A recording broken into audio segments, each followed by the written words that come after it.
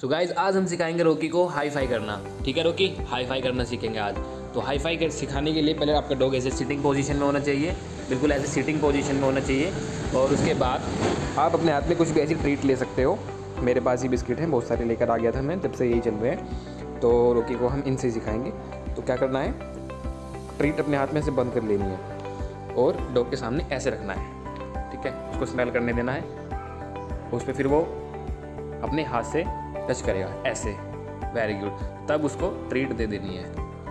Very good और फिर word introduce करना है word okay high five very good अब पहले हाई फाई कराएँगे, उसके बाद ट्रीट देंगे। Rocky high five very good Rocky high five sit sit high five high five high five okay high five very good good boy और फिर last में treat दे देंगे